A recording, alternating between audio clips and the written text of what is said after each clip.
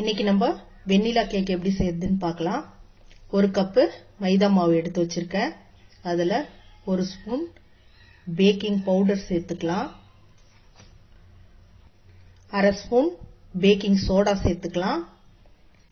இது இது எல்லாத்தையும் ஒன்றா கலந்து முதல்ல நல்லா கட்டி இல்லாமல் ஜலித்தி எடுத்துக்கலாம். ஒரு மிக்ஸி ஜாரில் ரெண்டு முட்டை சேர்த்துருக்கேன். நம்ம எதில் மைதா எடுத்தோமோ அதிலே அரை கப்பு சர்க்கரை எடுத்து வச்சிருக்கேன். அதை சேர்த்துக்கலாம். அதே கப்பில் அரை கப்பு சன்ஃப்ளவர் ஆயில் எடுத்து வச்சுருக்கேன். அதை சேர்த்துக்கலாம் இதை நல்லா அடித்து எடுத்துன்னு வந்துடலாம். இந்த மாதிரி நல்லா நைஸாக வெண்ணெய் மாதிரி அடிச்சு எடுத்தாச்சு. இப்போ இத மாவுல சேர்த்துக்கலாம். இப்போ மாவோட சேர்த்தாச்சு. இந்த மாதிரி பிஸ்கி வச்சு நல்லா கலந்து விட்டுக்கலாம்.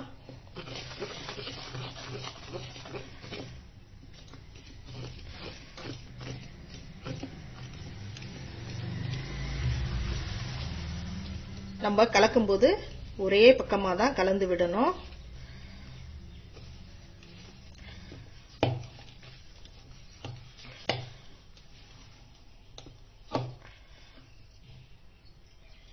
இப்போ மாவு ரொம்ப கெட்டியாக இருக்குது இதுக்கு வந்து நம்ம காய்ச்சி ஆற வச்ச பாலை கொஞ்சம் கொஞ்சமாக சேர்த்து கலந்துக்கலாம்.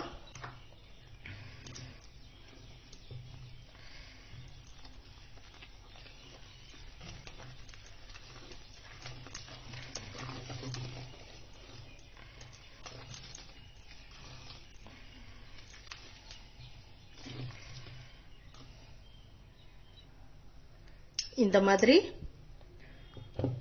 பதத்துல இருக்கணும் மாவு.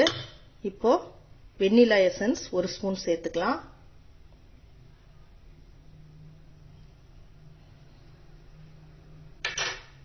சேர்த்துட்டு நல்லா கலந்து விட்டுக்கலாம்.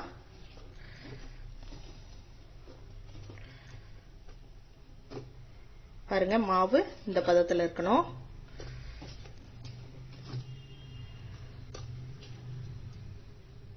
இந்த மாதிரி ஒரு பாத்திரம் எடுத்துக்கலாம்.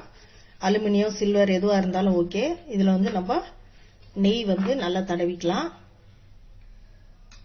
தடவிட்டு மைதா மாவு போட்டுக்கலாம். அப்போதான் வந்து அடியில் வந்து ஒட்டாம வரும். அந்த கிண்ணம் ரெடி பண்ணதும் அதில் வந்து நம்ம அடித்து வச்சிருக்க இந்த கேக் பேட்டரை அதில் சேர்த்துக்கலாம். கேக் பேட்டர் சேர்த்ததுக்கு அப்புறம் லைட்டா இப்படி தட்டி விடலாம். இந்த மாதிரி ஒரு அடி கனமான பாத்திரத்தை நம்ம அடுப்புல வச்சு நல்லா ஒரு அஞ்சு நிமிஷத்துக்கு ஹீட் பண்ணிக்கணும். குக்கரு இல்லைன்னா கடாய் இந்த மாதிரி அடி கனமான பாத்திரத்தை யூஸ் பண்ணுங்க. அதுல இந்த மாதிரி ஒரு ஸ்டாண்ட் வச்சிடலாம். இப்போ கலத்து வச்சிருக்க மாவு நம்ம இப்ப இதுல வச்சுக்கலாம். செய்யும்போது கேர்ஃபுல்லாக செய்யுங்க. சூடு பட்டுரும் கையில்.